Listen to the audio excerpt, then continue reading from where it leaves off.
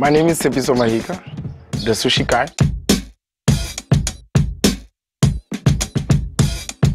I'm the founder and owner of Johnnito Sushi, which is at Meadowlands Zone 10 in Soweto. It's a stall inside the Sofeng Pub and Restaurant.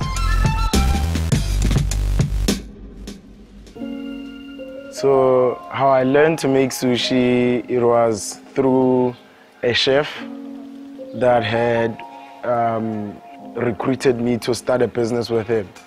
And through the journey of going to social markets and making sushi, I had to learn through him because I was more of a salesperson. I was actually selling the sushi, the product, the finished product.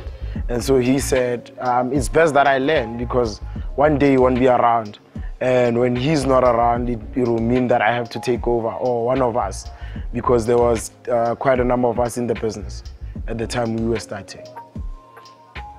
Okay, so at the time when we approached this whole thing, um, obviously they were the the, the, the, the market was quite receptive of us, considering the fact that there are some of the people that wanted to have sushi, but it was too far from them. So for the mere fact that we are here and we are we were the only sushi bar around Soweto that was operative, um, it made it easier for them, and so they they supported. They, they they were very appreciative that we brought it to them at long last.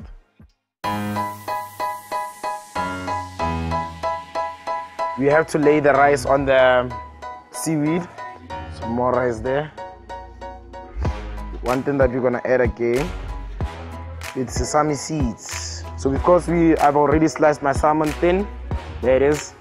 I can just slice it up and add it to your sandwich.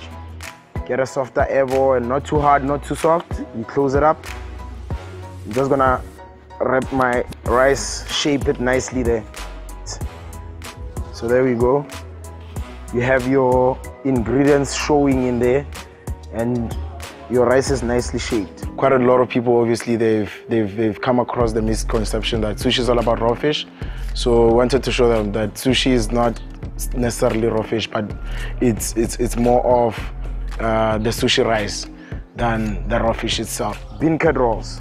A bean curd is made out of uh, tofu and soy soybean flour and so on. So we're just gonna cut some of it there into pieces.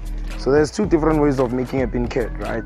You can either have salmon or you will have no fish at all, right? No fish at all for people who are allergic to seafood and people who are allergic to fish. So you can just add some avo to it like that. And then we'll add some avalanche sauce over it and there we have it uh, with our sushi bar um, we have three different types of sushi um, the first one is sushi with no fish it is built on cucumber and apple the second one is um, the normal traditional sushi which is uh, uh, made out of salmon crab stick avo and so on right? And then the last one that we have is called tempura fried sushi. That's your normal sushi coated with tempura breadcrumbs, then it's deep fried.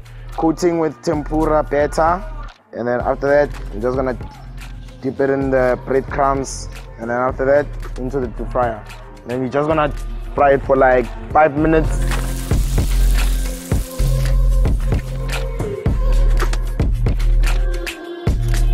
That's our tempura fried sushi. Okay, on an average day, I just come through.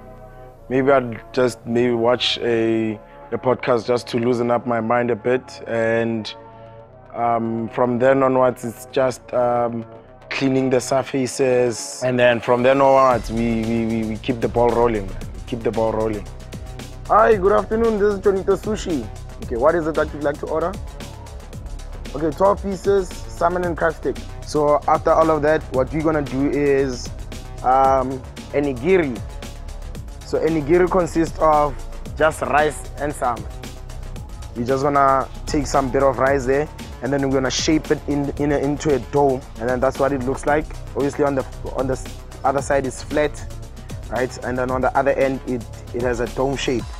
So we're gonna add a bit of avo and then after that we're gonna slice a bit of salmon.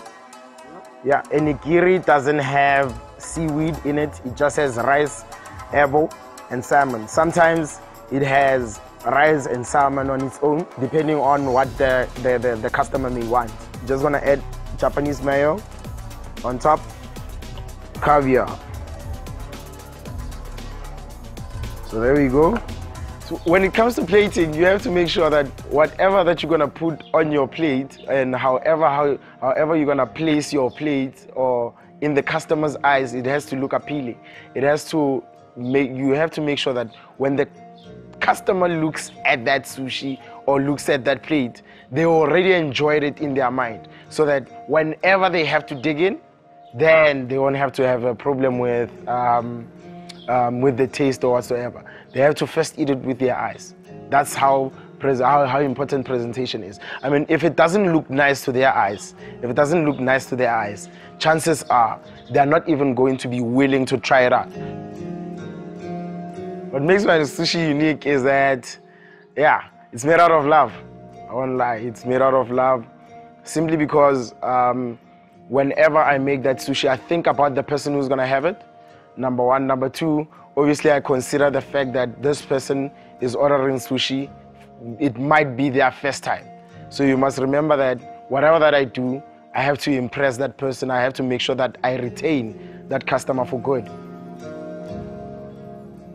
See, at this present moment, I would say my, my short-term goal would be, or rather my, my short-term objective would be to have to one day have a sushi bar of my own, a standalone sushi bar, in in in is just somewhere in in in in the city or just around Soweto where people can easily access me, and obviously have a chain of, of, of those sushi bar across the country in the near future. And then the ultimate goal, which is the final now, whereby I say now I've made it in life, is to just have a sushi bar in the middle of Japan, just one day. Yeah. So just after dealing with the continent, then definitely the first place that I'm gonna go look for space in is Japan. Yep.